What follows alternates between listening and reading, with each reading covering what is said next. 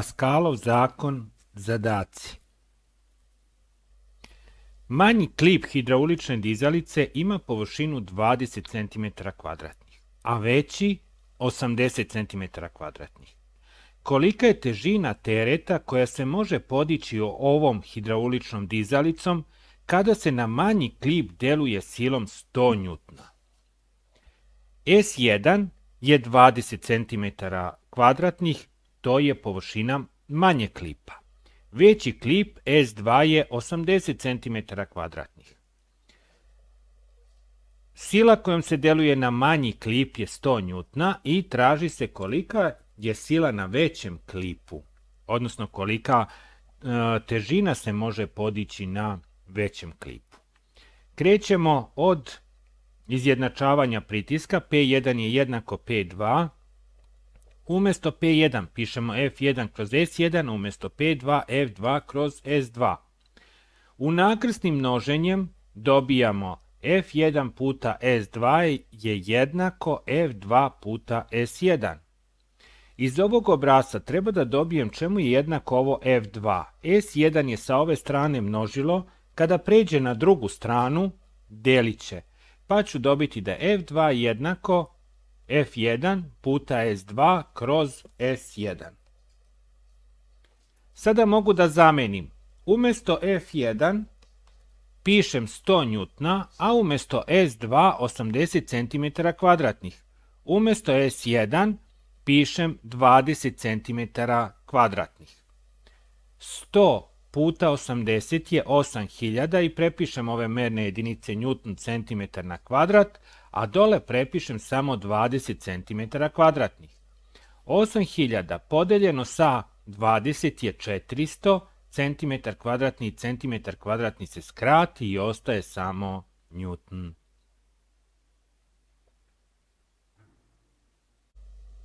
Površina manje klipa hidraulične dizalice je 10 cm kvadratnih. Odredi površinu veće klipa ako je za dizanje tereta mase 100 kg potrebno na manji klip delovati silom 20 N. S1, to je površina manje klipa, je 10 cm kvadratnih. Na većem klipu se podiže teret mase 100 kg. Sila kojom se deluje na manji klip je 20 N i mogu dobiti koliki se teret podiže kolika je sila na većem klipu. Po obrazcu F2 je jednako M2 puta G. Umjesto M2 pišem 100 kg, a G je 10 N kroz kilogram. 100 puta 10 je 1000, kg i kilogram se skrati i ostaje samo Newton. Sada imam S1, imam F1, imam F2 i mogu dobiti koliko je S2. Prvo ću izjednačiti pritiske, P1 je jednako P2, umjesto P1 pišem F1 kroz S1, umjesto P2 F2 kroz S2, u nakrsnim množenjem dobijam F1 puta S2 jednako je F2 puta S1. Iz ovog obrazca treba da dobijem koliko je ovo S2. F1 je sa ove strane množilo, kada pređe na drugu stranu delit će, pa ću dobiti da je S2 jednako F2 puta S1 kroz F1. Umjesto F2 pišem ovo što sam dobio ovdje 1000 njutna. S1 je dat u zadatku 10 cm kvadratnih, a F1 je 20 njutna. 1000 puta 10 je 10.000 i prepišem ove merne jedinice njutn puta centimetar na kvadrat, dole prepišem samo 20 njutna, 10.000 podeljeno sa 20 je 500, njutn i njutn se skrati i ostaje samo centimetar kvadratni.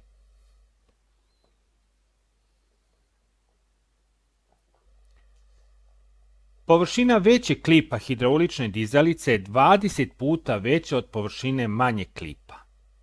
Može li čovek mase 80 kg podići automobil mase 1500 kg. U zadatku mi je dato da je S2 jednako 20 puta S1, da je površina većeg klipa 20 puta veća od površine manje klipa. I to zapisujemo ovako. Dato mi je da je masa čoveka 80 kg i da je masa automobila 1500 kg. Kada mi je poznata masa čoveka, mogu dobiti F1, sila kojom on pritiska podlogu, F1 je jednako M1 puta G. Umesto M1 pišem 80 kg, a G je 10 N kroz kilogram.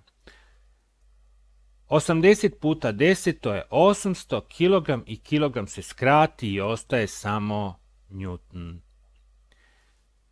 Na isti način mogu dobiti i težinu automobila. Kada mi je poznata masa, mogu dobiti težinu automobila po obrazcu F, A je jednako M2 puta G.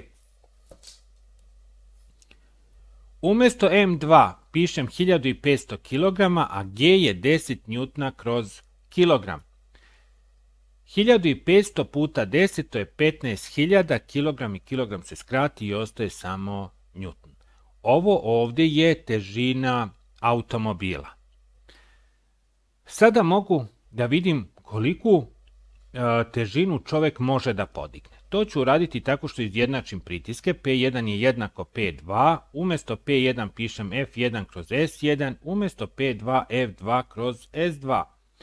U nakrsnim množenjem dobijam F1 puta S2 je jednako F2 puta S1. Iz ovog obrasca treba da dobijem čemu je jednako F2, S1 je sa ove strane množilo, kada pređe na drugu stranu delit će i zato ga pišemo samo ovdje dole. F2 će biti jednako F1 puta S2 kroz S1.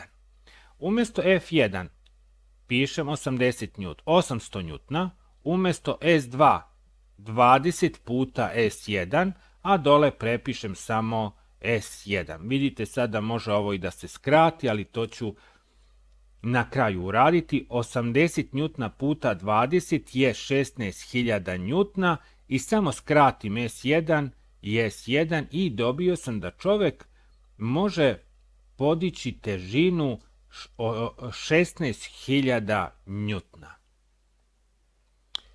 a težina automobila je 15.000 njutna. To znači da čovjek može podići veću težinu od težine automobila i čovjek može podići ovaj automobil. Kolikom silom treba delovati na manji klip hidraulične prese površine 50 cm kvadratnih da bi izlomila kamen? Kamen se lomi ako na njega deluje sila od 5 kN. Površina većeg klipa je 10 decimetara kvadratnih. Hajde da zapišemo šta nam je dato. S1 to je površina manje klipa 50 cm kvadratnih.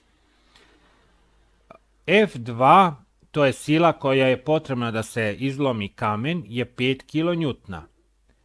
Površina većeg klipa je 10 decimetara kvadratnih. Moram da sredim merne jedinice, prvo 5 kN da prebacim u njutne, 5 puta 1000 njutna, to je 5000 njutna, i decimetre da prebacim u centimetre, 10 puta 100 cm kvadratnih je 1000 cm kvadratnih. Sada mogu da izjednačim pritiske, P1 je jednako P2, Umjesto P1 pišem F1 kroz S1, a umjesto P2 F2 kroz S2. U nakrsnim množenjem dobijam da je F1 puta S2 jednako F2 puta S1. F1 iz ovog obrazca će biti jednako F2 puta S1 kroz S2. Umjesto F2 pišem 5000 njutna, umjesto S1 50 cm kvadratnih, a S2 je 1000 cm kvadratnih. E, možete ovo skraćivati, množiti, ja sam prvo pomnožio ovo gore, 5000 puta 50, to je 250.000 i prepisao sam mernu jedinicu Newton centimetar na kvadrat kroz 1000 cm kvadratnih. Kada skratim ove 3 nule i ove 3 nule dobit ću 250, cm na kvadrat i cm na kvadrat se skrati i ostaje samo Newton.